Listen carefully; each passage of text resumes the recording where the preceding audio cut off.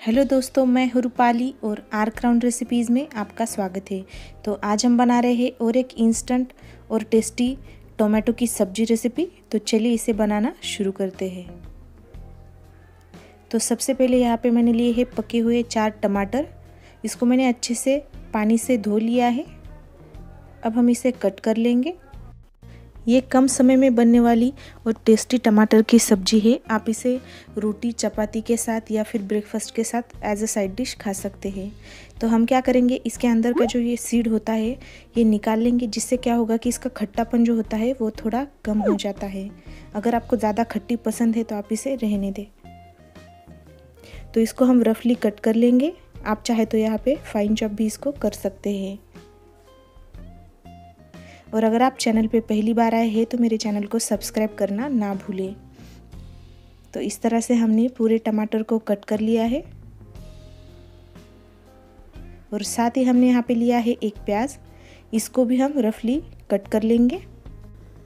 अगर आप प्याज टमाटर का कॉम्बिनेशन खाना पसंद करते हैं तो आप यहाँ पे दो प्याज भी यूज़ कर सकते हैं, या फिर बिना प्याज के भी इसे बना सकते हैं। पर इसमें थोड़ा सा तो प्याज डालेंगे तो ये अच्छा स्वाद बनेगा। तो यहाँ पे प्याज, टमाटर हमारे कट हो गए हैं तो चलिए अब इसे बनाते हैं। तो यहाँ पे मैंने लिया है पैन, इसमें लिया है थोड़ा सा ऑयल। आप चाहे तो ऑलिव ऑयल भी यूज़ कर सकते हैं। फिर हम इसमें डालेंगे राई, एक चौथाई चम्मच। इसको हम पहले चटकने देंगे। और फिर हम इसमें डालेंगे एक चौथाई चम्मच जीरा।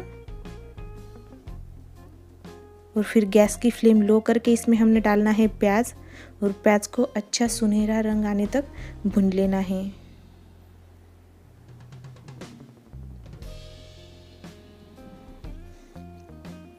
तो इस तरह से हमने प्याज को भुनना है और साथ ही यहाँ पे मैंने लिया है लहसुन अदरक का पेस्ट, लगभग आधा चम्मच।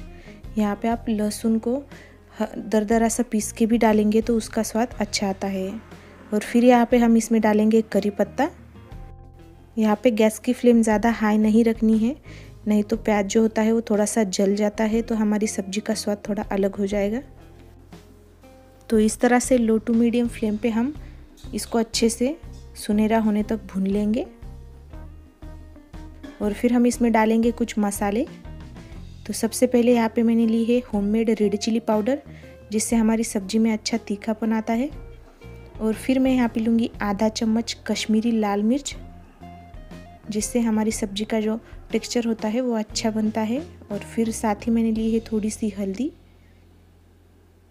और थोड़ा सा धनिया पाउडर। और बस इन सभी चीज़ों को अच्छे से मिक्स कर लेना है। और फिर हम इसमें डालेंगे कटा हुआ हमारा टमाटर।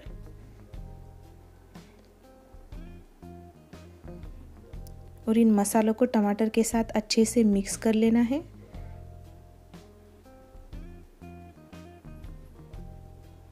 और फिर हम इसमें डालेंगे स्वादानुसार नमक। और नमक डालने के बाद टमाटर जल्दी से पक जाते हैं तो इसको अच्छे से मिक्स करके मीडियम टू हाई फ्लेम पे हम दो से तीन मिनट के लिए पकाएँगे। और साथ ही यहाँ पे मैंने ली है थोड़ी सी भुनी हुई मूंगफली तो इसको हम दरदरा सा पीस लेंगे और सब्ज़ी में मिलाना है इसको। इससे क्या होगा कि सब्ज़ी में एक अच्छा सा क्रिस्प और स्वाद बन के तैयार हो जाता है। अगर आपको ये पसंद नहीं तो आप इसे स्किप कर सकते हैं। तो ये देखिए लगभग हमारी सब्ज़ी पक गई है। अब हम इसमें डाल देंगे हमारा ये रफली क्रश किया हुआ मूंगफली। और बस इसे अच्छे से मिक्स कर लेना है। और मिक्स करने के बाद बस एक से दो मिनट के लिए इसको लो फ्लेम पे पका लेना है। और फिर हम इसमें डालेंगे बारीक कटा हुआ हरा धनिया। इसको मिक्स कर देंगे और ये लीजिए हमारी टमाटर की आसान सी सब्ज़ी बन के तैयार है। ना ज़्यादा समय लगता है, ना ज़्यादा इंग्रेडिएंट तो इस तरह से आज हमने बनाई एक आसान और स्वादिष्ट टमाटर की साइड डिश रेसिपी अगर आपको मेरा आज का वीडियो पसंद आया है तो वीडियो को लाइक एंड शेयर करना ना भूलें।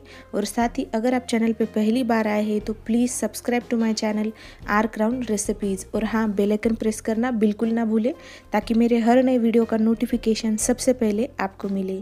तो फिर मिलेंगे अगले शुक्रवार, ऐसी ही और एक नई और आसान रेसिपी के साथ। तब तक के लिए पूरा वीडियो एंड तक देखने के लिए थैंक यू माई फ्रेंड